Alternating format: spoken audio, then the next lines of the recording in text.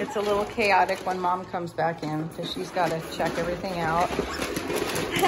she doesn't want to hold still. She's got to check everything out.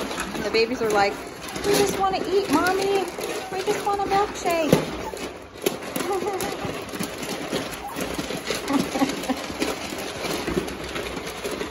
so eventually